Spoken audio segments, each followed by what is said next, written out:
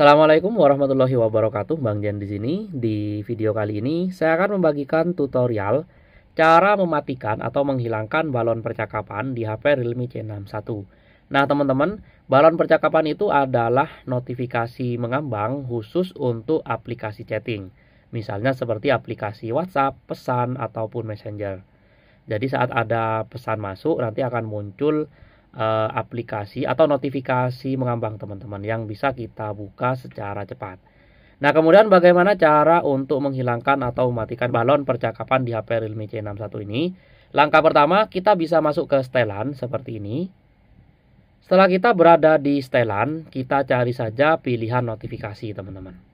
Setelah ketemu pilihan notifikasi, kita ketuk notifikasi seperti ini.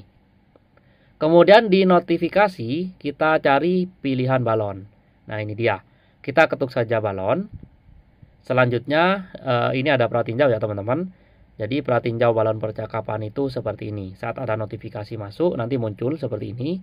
Saat kita ketuk akan menampilkan isi percakapannya. Nah untuk mematikan fitur ini kita tinggal matikan izinkan aplikasi menampilkan balon. Kita matikan.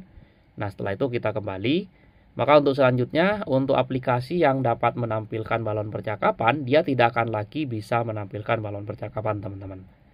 Oke, demikian tutorial cara menghilangkan atau mematikan balon percakapan di HP Realme C61. Semoga bermanfaat, kurang lebihnya saya mohon maaf. Wassalamualaikum warahmatullahi wabarakatuh.